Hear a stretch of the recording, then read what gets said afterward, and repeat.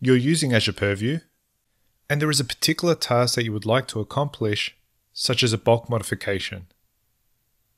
And depending on the circumstance, doing so via the point and click nature of Purview Studio may be too cumbersome, or in some situations, simply not feasible. And the alternative of writing code from scratch may seem onerous. This may be an ideal use case for Purview CLI, a command line interface for Azure Purview. Taking a step back for a moment, Azure Purview is a unified data governance service that helps you manage and govern your on premises, multi cloud, and software as a service data. While Azure Purview provides a unified experience via Purview Studio for tasks that are better suited to a graphical user interface, there may be instances where we would prefer to interact with the service programmatically, whether that be to perform bulk operations that may be just too time consuming with the point and click nature of the GUI, facilitate custom scenarios such as the creation of custom entities, or simply answer ad hoc questions. Fortunately, the underlying Azure Purview platform is open and can be consumed directly via the Azure Purview REST API, which is largely based on the open source Apache Atlas project.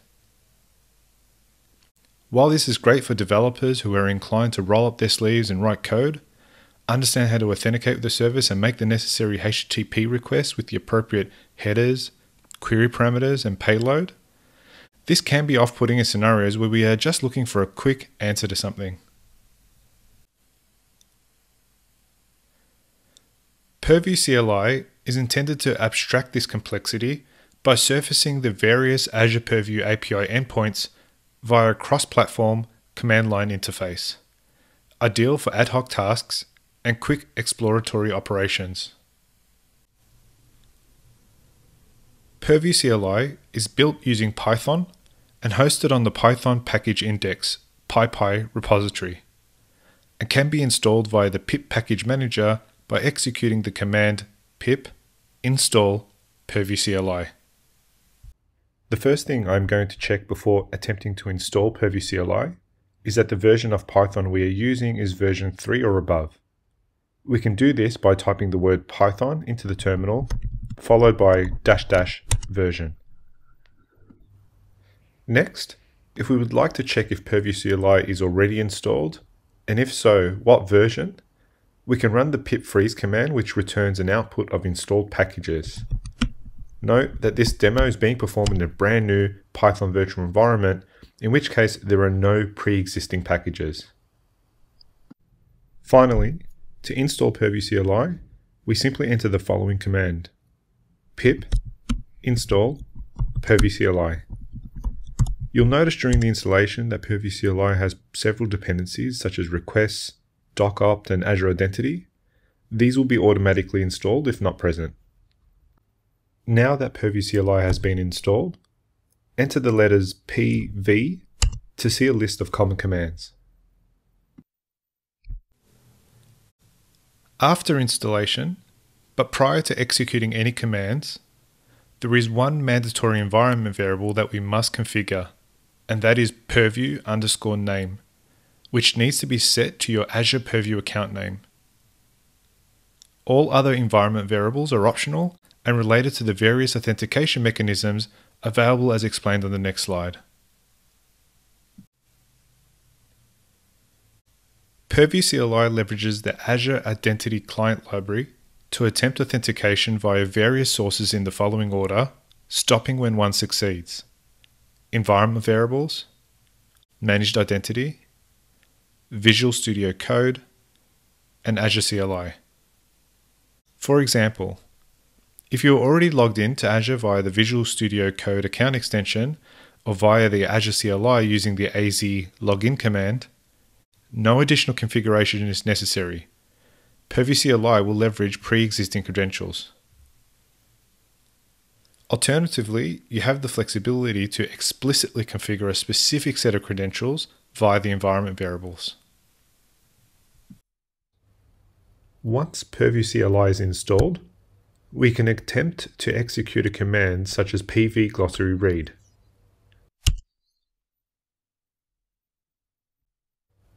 You will notice that Purview CLI is informing us that we are yet to set the purview underscore name environment variable in order for the tool to know which Azure Purview account we would like to interface with.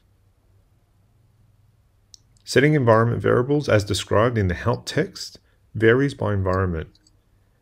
In this case, I am running Purview CLI on macOS via the terminal and therefore will configure this value via the export command. Now that our environment variable has been set, reattempting the pv glossary read command shows a different error message indicating it was unable to find a set of credentials to authenticate with the Azure Purview service. There are a variety of options on how this can be configured and sourced, such as additional environment variables or pre-existing credentials via the Azure account extension in Visual Studio Code. In this example, I'm going to authenticate via the AZ CLI using the AZ login command.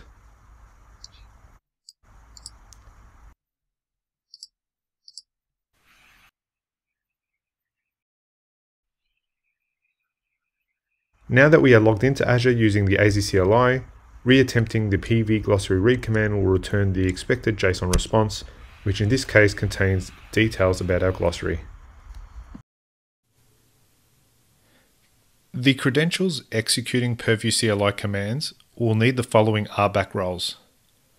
Purview Data Curator to provide read-write access to the catalog, and Purview Data Source Administrator to provide read-write access to the scan endpoint. Here we are in the Azure portal.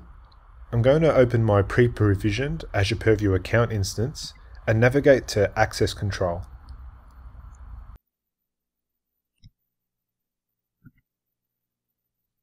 Here we're going to click on Add Role Assignments.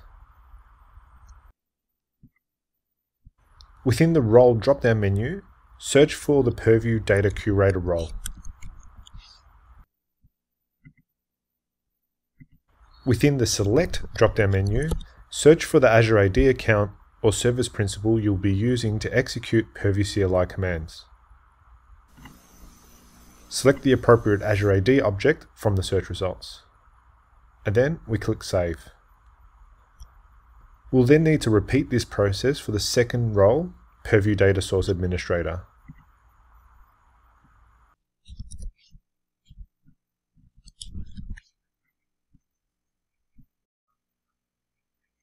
Once complete, navigate to Role Assignments tab to confirm that both roles have been successfully assigned.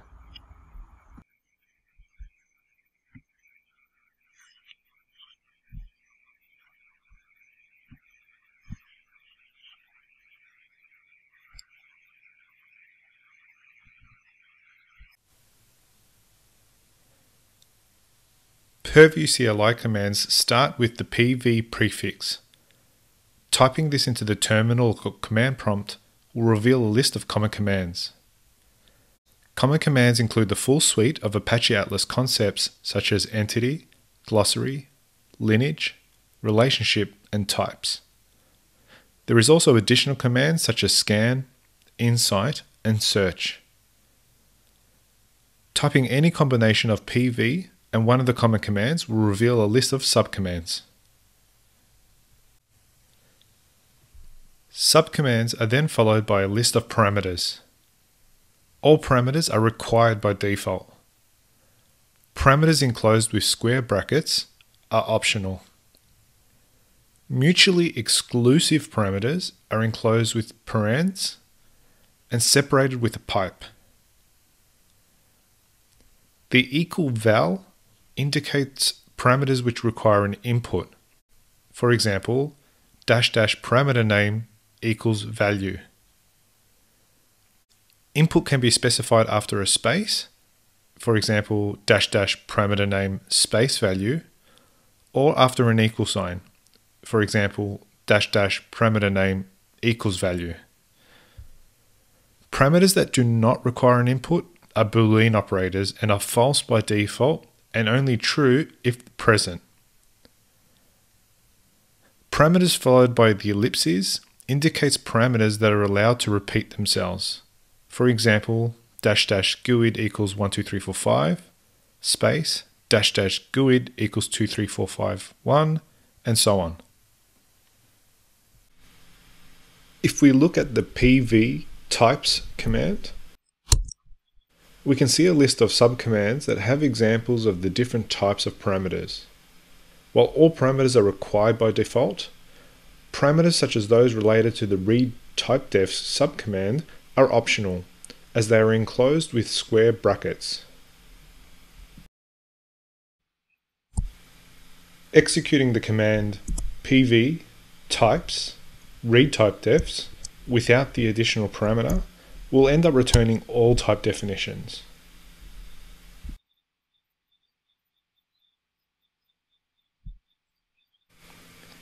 As you can see, the response is quite verbose. But what if we're only interested in a particular type of type definition? We can get a list of allowed values by typing in the pv types dash dash help command to see a list of valid types such as classification, entity, enum, relationship, and struct.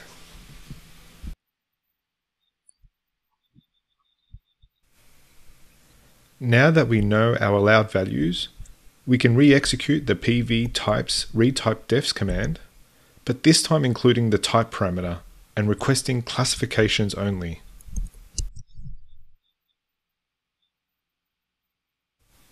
As you can see from the results, type definitions outside of classifications such as entity, enum, and relationship and struct are empty, with only the classification type definitions being returned.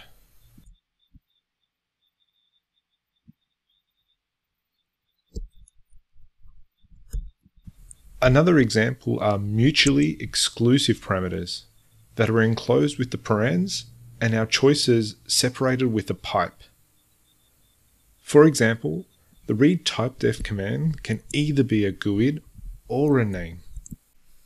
In this example, we are going to request the type definition for Azure SQL Table and request this by specifying the name.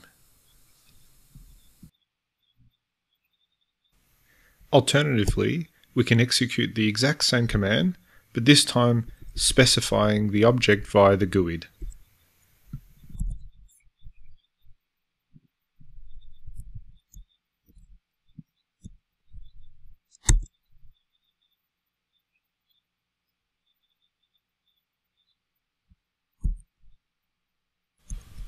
In some instances, you'll notice parameter values that do not require a value.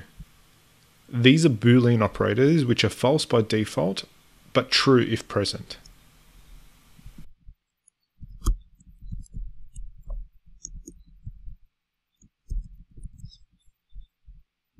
For example, if we execute the pv entity read bulk command for a particular object without the ignore relationships option, the response is verbose.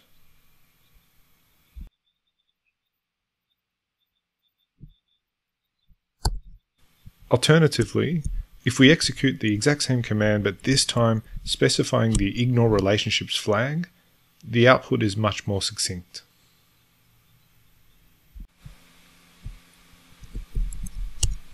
Finally, parameter values followed by the ellipsis can be specified multiple times to form a list. For instance, if we wanted to retrieve multiple objects, we could just repeat the GUID parameter for each object that we want to return.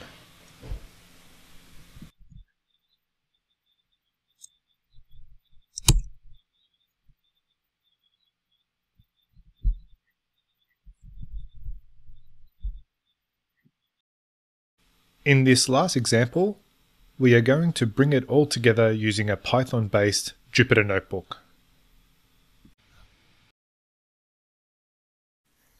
The first cell in our notebook We'll install or upgrade the Purview CLI package using the magic function percentage symbol pip.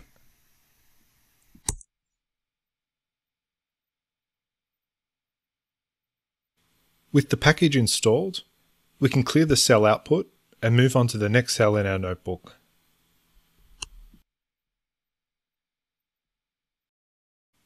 In this example, we are using Python to set our environment variables And rather than relying on pre existing credentials, I've explicitly configured a service principal as the identity using Azure Client ID, Azure Tenant ID, and Azure Client Secret. To avoid disclosing sensitive environment values, I've pre-run this cell so we can skip to the next step in our notebook. In this example, we have a standard Purview CLI command, pv glossary read. But you'll notice as we are interspersing shell commands within a Python based notebook, we must prefix our shell command with an exclamation point. Executing the command will then return the output.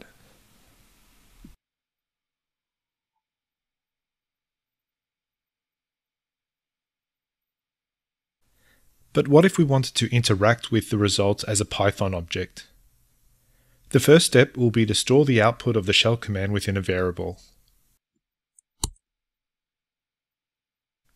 This variable will then store the output as an S-list, which is a list-like object.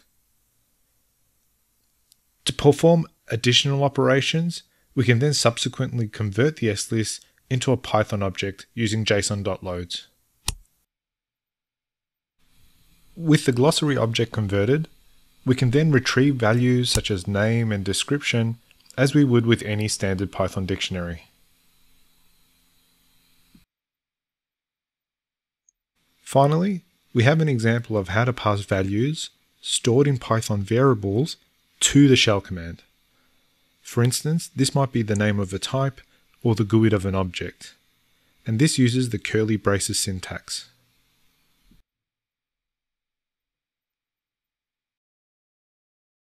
Thank you for watching this video on how to get started with Purview CLI. If you'd like to learn more, head on over to aka.ms slash purviewcli where you'll find a list of all the commands available as well as some sample notebooks on how to perform certain operations.